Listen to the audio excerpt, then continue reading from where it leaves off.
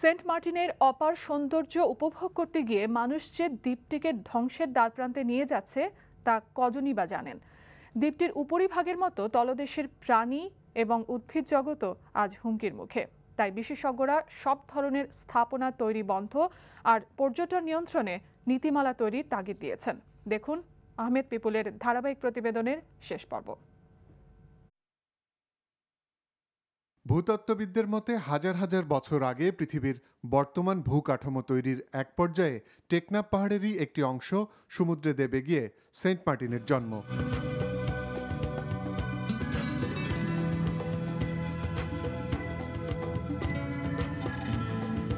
Coral জন্মের জন্য যে স্বচ্ছ পানি আর প্রতিবেশ প্রয়োজন, তার সবই উপস্থিত থাকায় দ্বীপটিকে ঘিরে জন্ম নেয় বৈচিত্র্যময় কোরাল। আর এ কারণে অনেকেই সেন্ট মার্টিনকে বলেন কোরাল দ্বীপ। সম্প্রতি দ্বীপটির তলদেশ ঘুরে আসা ফটো সাংবাদিক শরীফ সারোয়ার জানান, সেখানকার বর্তমান পরিস্থিতির কথা। আমার কাছে মনে হলো যে সুন্দর একটা বাগান, এটা যেন কে একটু তছনছ করা অবস্থায় দেখলাম। তখন মন আমার খুবই খারাপ হয়ে গেছে। ঝড় আসলে যেরকম ভাঙ্গা চূড়া হয়ে যায় ওলট পালট হয়ে যায়, নিচের এত সুন্দর জিনিসগুলো এরকম ওলট পালট ঝড়ের ঝড়ের তাণ্ডবের পর যেরকম থাকে এরকম হয়ে আছে। গত এক দশক সেন্ট মার্টিনের চারপাশ চষে বেরিয়েছেন স্কুবা ডাইভার আতিকুর রহমান।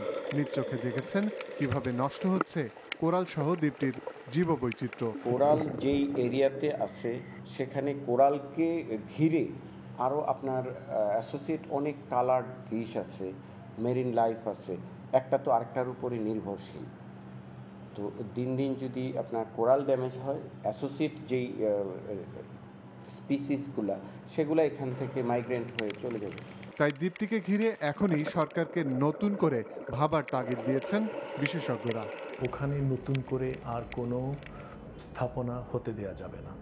এটি অত্যন্ত শক্তভাবে নিয়ন্ত্রণ করতে হবে।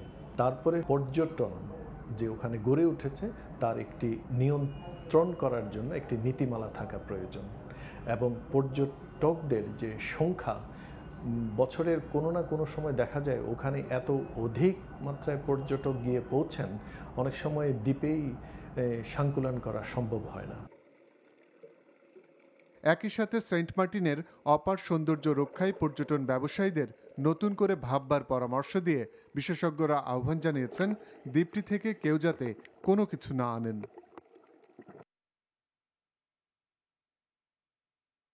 Ahmed people, NTV news Dhaka.